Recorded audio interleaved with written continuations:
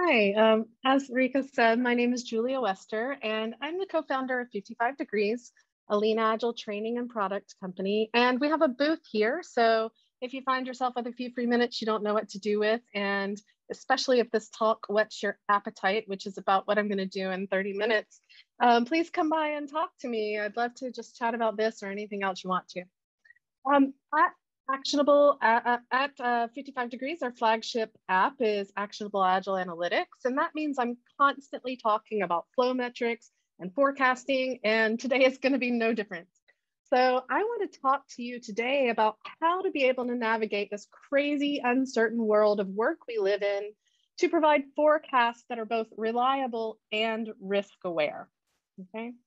So the first thing we have to talk about before we can even buy into the fact uh, of most of what I'm going to talk about today is the fact that we live in uncertain times. So I think that many of you have seen this uh, before, but I bet most, if not all of you, have at least felt this when you're delivering work in these complex environments we all work in. You know, we do all of this planning and we think, I want you to do this this way. And you think everyone understands. And then you turn around and it's delivered and you're like, that's not at all what I talked about. Or why you know why can't this be delivered when i said it would be when you said it would be you know we have the schedule right? And even when we put our best efforts in we can't always guarantee that things will turn out exactly the way we want or even exactly when we want it. And we want it to be that way. We want to be able to say those things. But if we lived in worlds of absolute certainty especially at work we wouldn't need things like agile and scrum. You know those things are uh, things whose purposes are to help us iterate through uncertainty because we know that we can't do big upfront planning. We don't even know what we want to deliver yet many times. So we have all of these constructs to help us go through uncertainty to come out the other end and end with the right thing.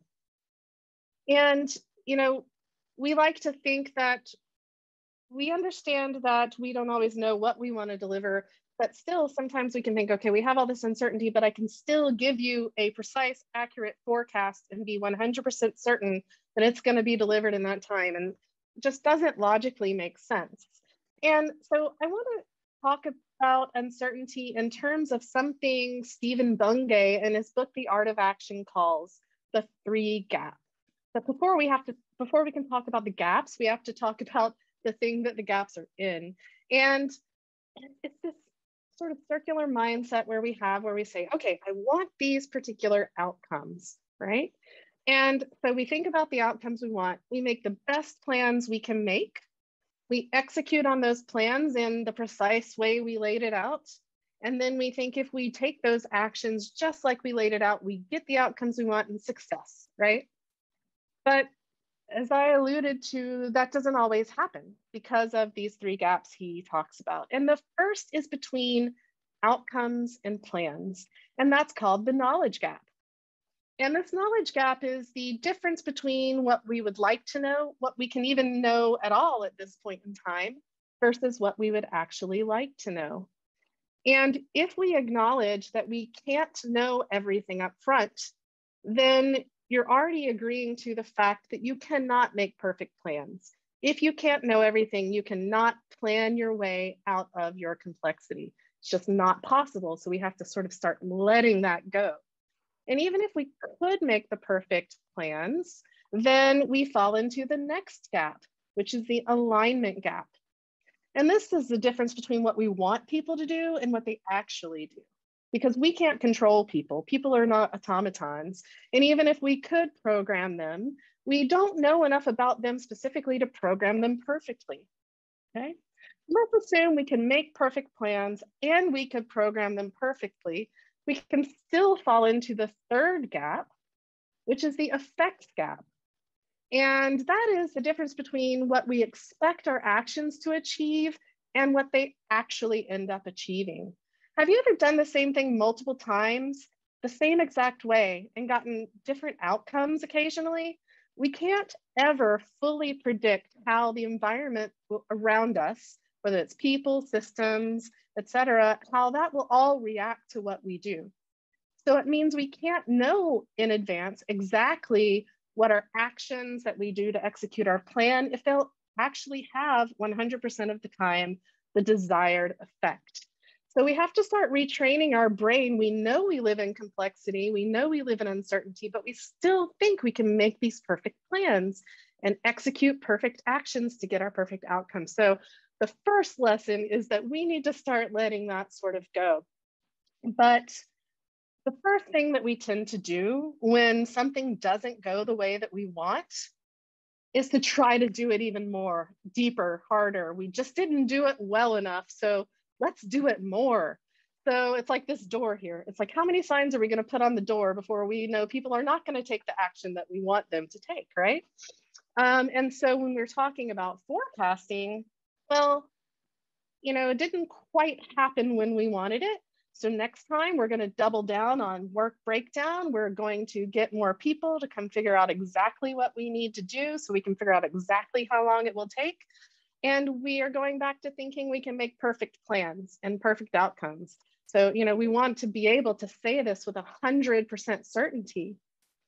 But we have to keep reminding ourselves that we live in complexity. We can never be certain in complexity. So we can't give this deterministic forecast. And what a deterministic forecast is, is one in where we only let people know about one possible outcome. We might be aware that there are others, but we're only saying it'll be done by X date with no understanding of how likely or unlikely that is to happen, okay?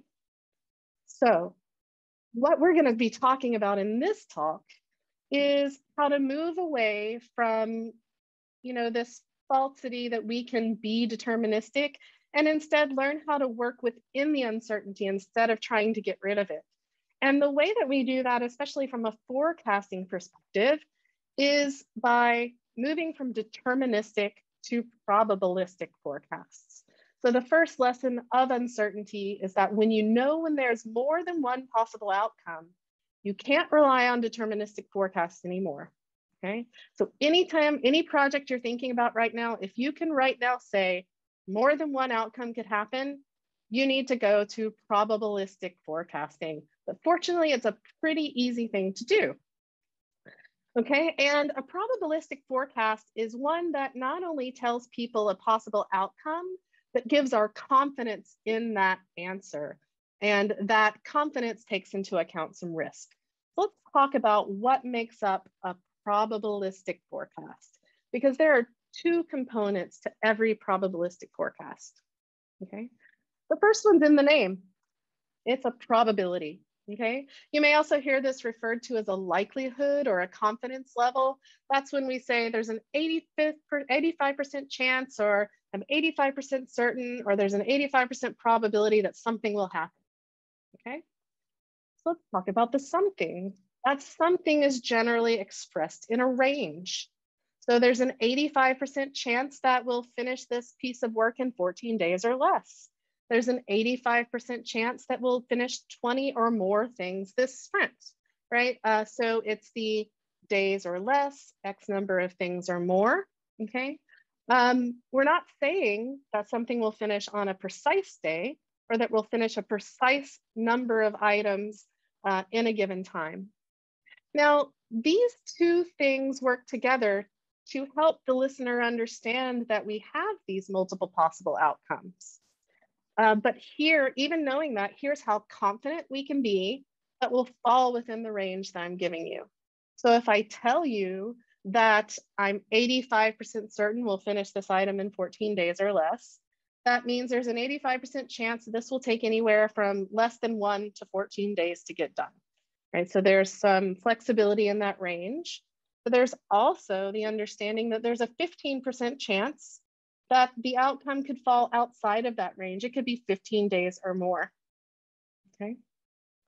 And the way that we can sort of get a little more buy-in into this reality that we have to talk in ranges and we have to talk in probabilities is because we're giving people the conservative part of the range as a real number. So it's not like I'm saying that there's an 85% chance that this will take 14 days or more. I'm saying there's an 85% chance that it will take 14 days or something you'll like even better, right? We'll finish, there's an 85% chance we'll finish 20 things or a number you'll like even more than that, okay? So those are the two pieces of a probabilistic forecast. And those two pieces together especially help us give an idea to people about the risk or the possible outcomes that we're trying to navigate. And that can drive a whole lot of discussions uh, that you know we can we can talk about either you know unpack more throughout this talk or in Q&A or at the booth later. But the first question you might be thinking of is how do you go about giving a probabilistic forecast? Well, you're going to need some historical data because what we're going to do is that we're going to look at what you've been able to do in the past as the data set for what you'll likely be able to do in the future. As they say, if you haven't been able to do it so far, what do you think you're going to do differently now? So if your data shows you that you can get something done in Y number of days, you know, unless you do something differently, that's probably still your reality, right? Um, there are two types of forecasts that we generally get asked to give.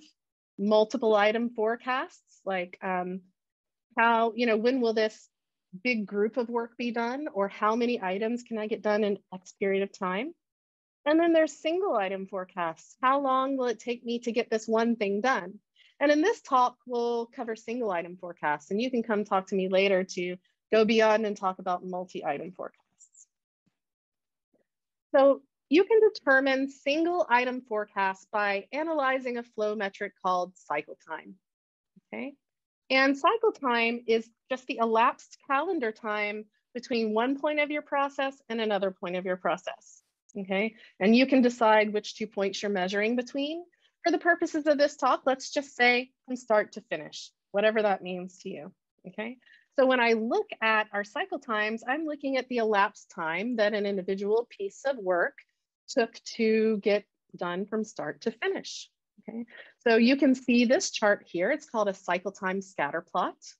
And it has a bunch of dots on it. And those dots represent one or more work items.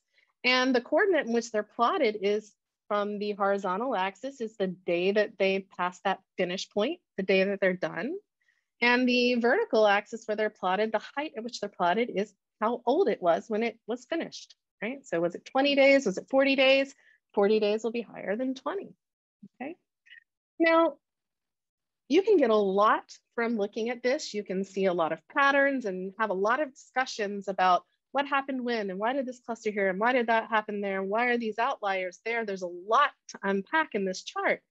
But we're gonna look at how to take all of this data in the aggregate and understand the probability of how long it will take you to finish one more dot, okay? And the way that we do this, let's pretend that there's 100 dots on this chart or 100 work items represented by the dots on this chart.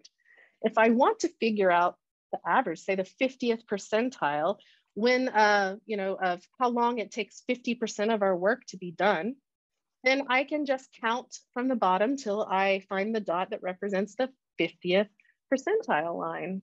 And I can draw a line and say, okay, 50% of the dots on this chart were finished in seven days or less. So I could assume that given you know some caveats that we'll talk about soon, um, that when I start a new piece of work, there's a 50% chance that it'll take seven days or less. Okay, well, 50% is just as wrong as it is right. Um, we can keep doing this with any percentile as long as we can calculate um, how many dots is 90% or 85%. We can find the place. So if, if we're looking for our 85th percentile and we've got 100 dots, we count up from the bottom till we find the 85th dot and we just draw a line. So this is something that you can actually do by hand. If you know the time something took and you know when it finished, you can make the dots on this chart. You can count, you can divide, you can do percentages. It's not really tricky math. I mean, you probably don't want to do it by hand, but you can. So you don't need any special tools to do this type of forecasting, okay?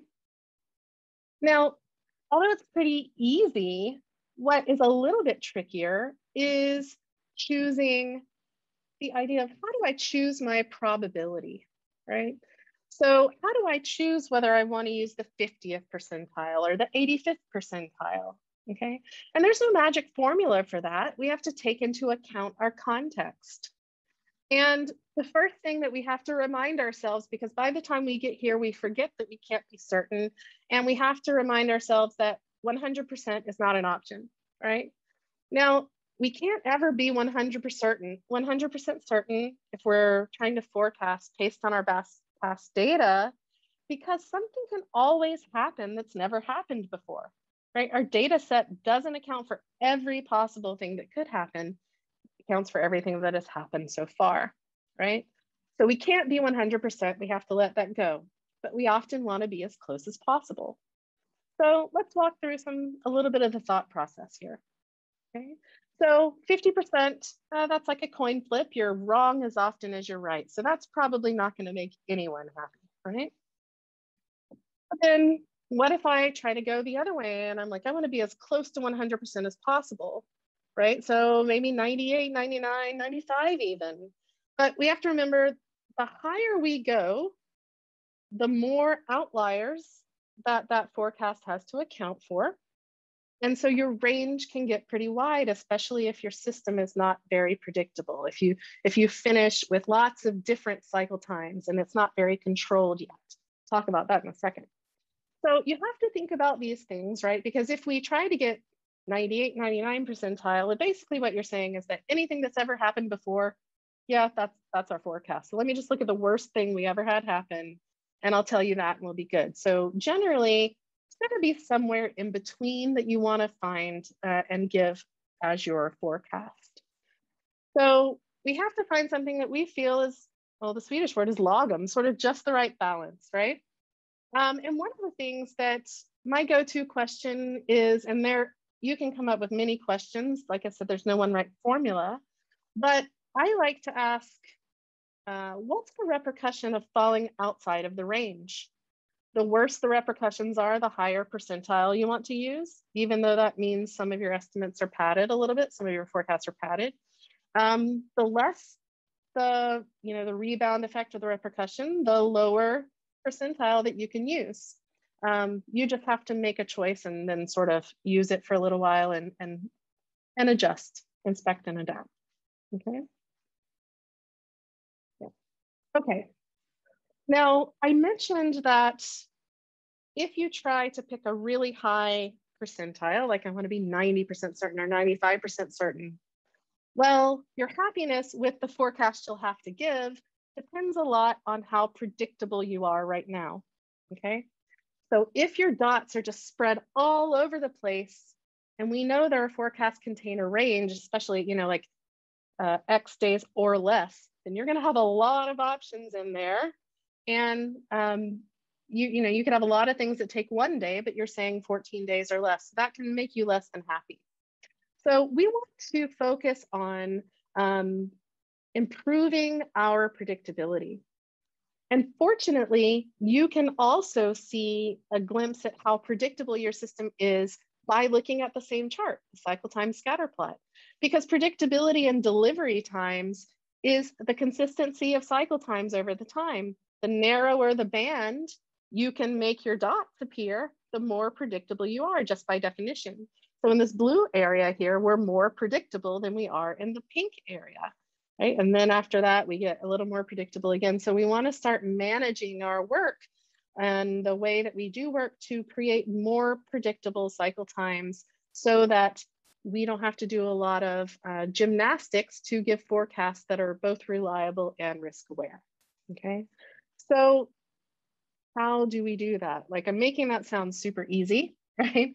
And there's a lot of things that go into making your cycle times more predictable so that you can give reliable risk aware forecasts in minutes instead of hours and days and weeks and spend more time doing the work instead of forecasting the work. And by far, the most important thing that I suggest that you focus on is managing the age of your work. Okay. Now, when I started learning about processes and you know ways to improve our outcomes, the first thing you learn, especially if you're learning about Kanban, um, is to limit your work in progress. Okay, and that is a really important thing that I would say even more important than starting with limiting your WIP is starting by paying attention to the age of your work in progress and managing that.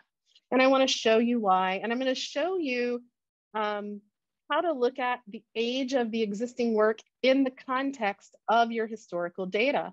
Because if I was to tell you this item is 12 days old, you're like, great, 12 days, that sounds, is it good or bad? I don't, I don't know without any context, right?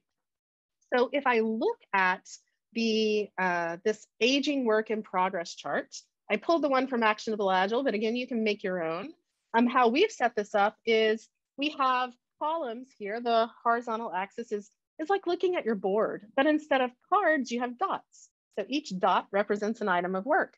Now, how high it is on this charty board is uh, how old the item is. So uh, it doesn't have a cycle time yet, it's not finished, but it's the age since it entered the board, the age since it started. So the higher dots are older than the other dots, right?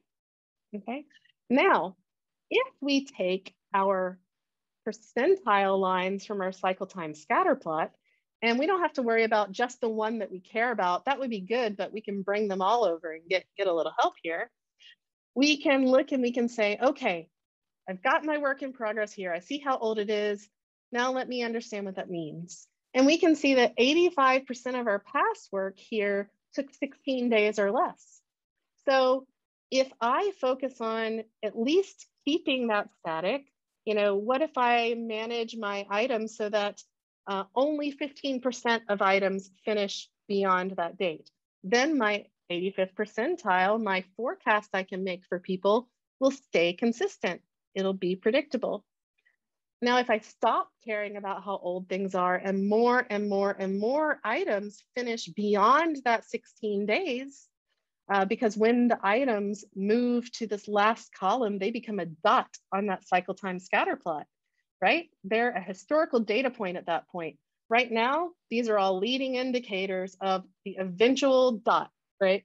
Right now is the only time we can control where that dot will land in our historical data later when it's still in progress. So if I let more and more dots go beyond the age that I'm trying to use as a forecast, then I'll no longer be able to say that 85% of my items can finish in 16 days or less. It's going to be more like 18 or 20. But the flip side, the, the positive way to look at this is if I take this and I use it for good, I try to improve my predictability. The way to get that line to move down is to finish more than 85% of items by that date. And the reason why WIP limits alone are not enough is let's look at this second column here, analysis done. Let's forget that it says done right now. But let's assume that this is a column and we have a WIP limit of five, okay? And I, let's say these two top dots are blocked and I'm just gonna ignore them. I'm gonna let them sit here and get older and older and older, right? But yet I'm cycling through these three other dots. I'm Like I'm getting those done, pulling three new ones in. I'm staying in my WIP limits no alarm bells are going off, right? But yet I am ruining my predictability, which makes it harder and harder to forecast in a way that is best for uncertainty. So that's why I say that even before WIP, age could be more important because when I look at things are getting older and older, that might actually lead me to adopt WIP limits, but it's unlikely to maybe go the other direction. So there's lots of things you can do about age. But the gist is, is that we have to um, we have to start thinking about our predictability and how to improve that so that we can give forecasts that we're happy with, but that are also risk, uh, risk aware and reliable. There are a couple of thinking traps that you probably will come up against if you haven't already when you think about adopting this. And the first is that I don't have enough data. But the good news is that you have, you need much less data than you think. In fact, you might only need as few as 10 finished items to start forecasting with probabilities. There's no magic number that I can give you that works for everyone because it depends on your context. But the, you know, as long as you can get enough finished items that represents the variety of work that you do, then you have enough. And the other thing to remember is that just keep continually forecasting. This isn't a one and done. It's like your GPS um, it keeps reforecasting as you drive and meet new challenges. And so your data will do that too. And the last thinking trap is I can't do this because not all my stuff is the same size or the same type, but you shouldn't have to expect to, right? Trying to make everything the same type will introduce more problems than it solves. Um, but you can um, remember the fact that the probabilistic forecasts that you use based on your data account for all that variation. They were generated while you had the capacity you have, while you have the different sizes of work that you have. So it naturally accounts for all of that. You only have to worry when your conditions change and then only until you generate enough new data. Okay, so there's a lot to unpack there. Um, and you can come by my uh, booth to talk more about it. But the things that I really would love for you to take away is that if there's more than one possible outcome, then you really want to be thinking in probabilistic terms. And those probabilistic forecasts have two components, a probability and a range. Picking the probability is very contextually driven. And even once you start it may take a lot of effort to stay in a probabilistic mindset. You have to keep looking out for those thinking traps. So I did want to leave a few minutes for questions and beyond the booth, here are some other ways to engage with me. So I'll leave this up while I check and see if anyone has any questions that I can answer in the next three minutes.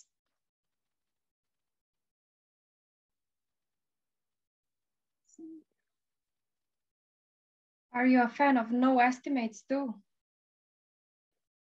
Um, I, I don't, I'm not necessarily calling it no estimates because I think that um, sometimes you have to answer these questions, but I am a fan of getting the best information with the least possible effort. And if I can get a forecast that's based on actual data I've produced, um, that's as accurate as someone sitting down and spending hours and days, then that's a win for me and I can answer their question and not spend a lot of time on estimating. And does that mean that your team is not estimating in story points and days and in whatever measure relative estimates? You only use your historical data and in that way, in context, you forecast? Yeah, for me, story points is we spend so much time saying that story points aren't related to time, yet then we try to take them and use them for estimating the time it will take to do work. And it's very, it just doesn't make any sense at all, right? And I have a lot of people who have shown me data that if they have 10 five point stories, they can take wildly different times, right? So I think if you, there's a guy named Larry Maccherone and he used to work at Rally. He's a data scientist and he did some um, research based on comparing forecasting with story points and with throughput, which is the rate at which you finish work. And um, it was, there wasn't any greater benefit from trying to measure with velocity or story points. And that takes so much extra work. So for me, it's better if it's either more accurate or as accurate, but takes a lot less effort. And so what I say is that story points can be great, but I don't use them for forecasting. If you want to use story points to have a different benefit, like understand the work and drive conversations, I'm all for it because I think tools are great for the right things, but they can't be both about time and not about time at the same time.